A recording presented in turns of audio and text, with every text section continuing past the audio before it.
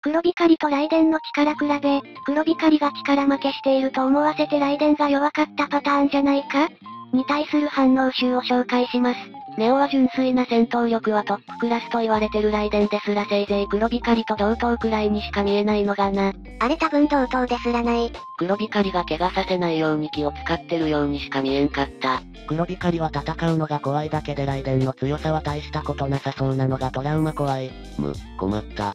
想像以上に弱い。黒光の反応はこれ弱。っていう反応なんだろうか。単純にいきなり突っかかられた事実にビビってるんじゃないかな力にはビビってないと思う。心が折れただけで最後まで画廊の攻撃のダメだったからな黒ちゃん。黒光はいろんな S 級知ってるからな。マスタープリプリあたりと比べてどんなもんかな。こいつが巨大なガレッ片手ではるか上空に投げたりコンクリートをクロールしたりできるとは思えん。思ったより弱いんだろうな。俺の黒光が相撲レスラーなんかに負けるはずないし。空気の読める男。かませボクサー見て、黒光さん離れた方がいい？わわをかけてあかん。実力分かってない感がすごいよねそう思うとサイボーグの機械化判別は初心者に優しいのかもしれん。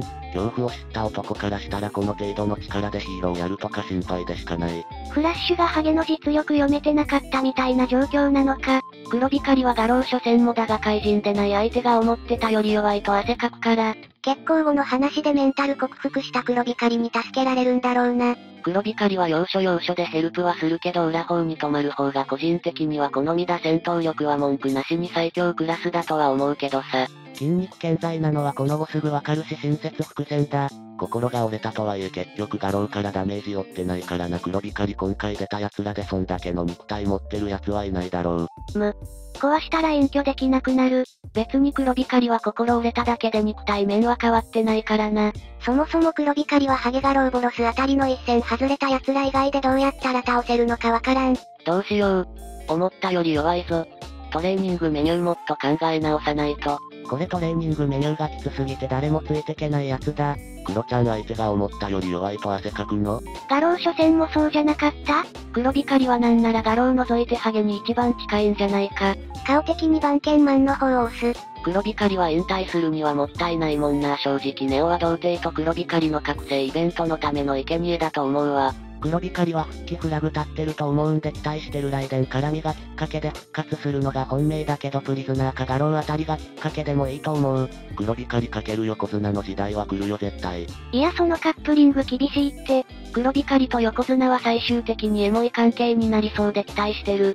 機械化率で強さが測れるならジェノスもっと強いだろ。いやジェノス結構強いやろ S 注意ってほとんどトップクラスやぞ。ハゲや怪人のせいで弱く見られがちだけど、ジェノスって普通の主人公クラスには強いぞハゲと怪人のせいで弱く見られがちだけど、機械化率は強さというより強さへの執着度合いの目安にしてるんじゃない？あいつから見れば強さ判別だろうけど本当のところはそれでしかないよね。メタルナイト、100%からのジェノス、100%で読者が察するやつなんだ。俺は詳しいんだ。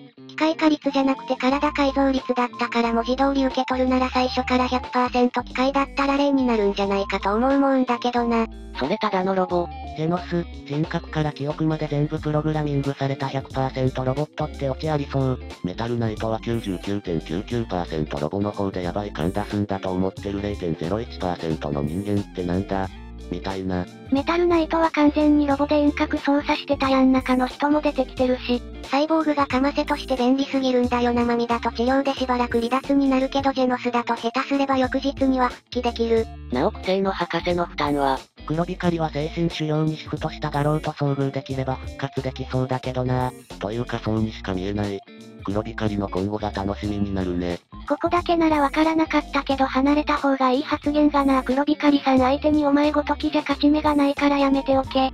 って意味にしては回りくどいし、黒光と同等以上ってスポーツ格闘の選手やっていい身体能力じゃないすぎるからなどんな相撲だよって話になる。どんな相撲って超相撲っていう3メートル以上しか出れないとんでも相撲だよ。みんな虫かみ片手でパン腰できるの。各界は見ないようにされてきたんだ。好意的に考えると、当たっても兵器とか関係なくメンタル的な問題から言った。って感じかな。黒光に当たったら相手が怪我をするから離れた方がいいと言ったのかもしれないよ。かなり無理があるけどライデンの実力を S 級とするならこうであってほしい。俺もこれだと思った仲間瀬が黒光りを全力で殴ればかませの腕が折れちゃうって見抜いた感じがした。まあタンクトップマスターの会は上位互換みたいなもんかだとしてもタンクトップマスター程度の奴が生きり散らしてるってなるとなおさら笑えてくるのが、タンクトップは描写からあれだけど S 級認められてる時点で鬼単独撃破は達成してるんじゃないの？普通にハンターズ全員犠牲者ありで鬼程度ならタンクトップマスターには程遠いだろう。まあ、ヒーロー協会の強みは狂った化け物を安易に強要してるとこだから比べるとかわいそうではあるんだけどね。比べるために出てきてんじゃないのかネオは。そうそうそれだね。結局鬼上位に勝てそうな奴がほとんどいなそう。アクセルは今の段階では正直一番嫌いな兄様のつもりだよあいつは仲間死なせてヒーローのせいにしてんじゃねえよ。アクセルたちの知名度は必要だけど彼ら個人個人のことはどうでもいいという部分は少しは隠すべきだったな。穴埋めの消耗品としてスカウトされたと判断されるのは当たり前だ。水流の妹が A 級レベルだし、ライデン水流も A 級レベルな気がするわ。水流は余裕で S だろ。童貞、食用ヒーローは武力競争じゃなくて人気商売だから、弱い奴らが弱いなりに必死で戦う姿を見て再起するのかはたまた弱い奴らが調子こいてボッコボコにされるのを見て再起するのか。何にせよ待ってるぜ黒光。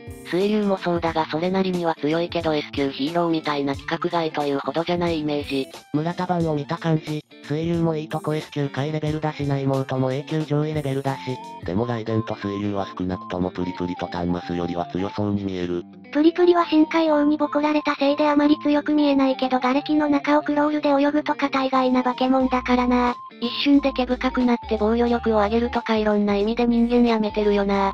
そもそも人は毛深くなったからといって防御力は上がらない。よな？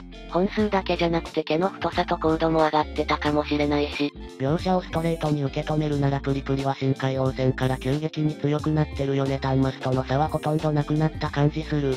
ダークラッシュ、拷問アーマー、バイブモードと強化ポイント大量だったからなもうタンマス超えはとっくにしてそう。タンマスも巨大な瓦礫を空中に放り投げたりしてるしかなりの化け物まあ常識人なのと画廊にボコられてるせいで化け物感はないんだけど、タンクトップタックル一応強くなる前の画廊ならべきべきにできる威力だからなんやかんや強い。あれ人間用にかなり手加減してなかったけかネオでも水流とライデンが特に評価されてるあたり黒光より弱いにしても S 級水準はあると思うんだよな。